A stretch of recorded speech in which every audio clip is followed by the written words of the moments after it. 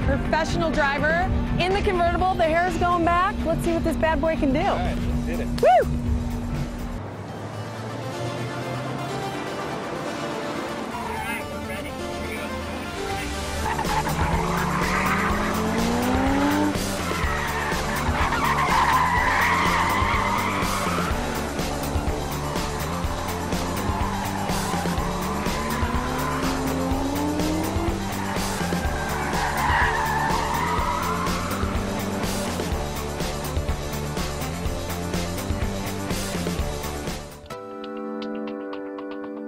We say the Corvette is a dream car for people.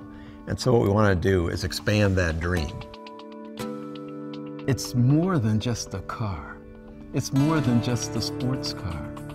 It is, it is an emotion, it is a passion, it is a vehicle that is larger than life.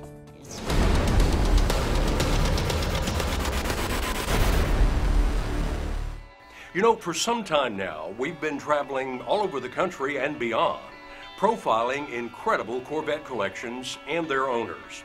And that's exactly what we were doing with Lance Miller a while back in Pennsylvania.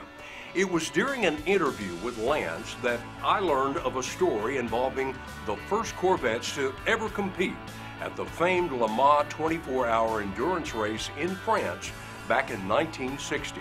Now, one of those Corvettes attained immortality by winning its class and placing eighth overall. And then it disappeared for decades.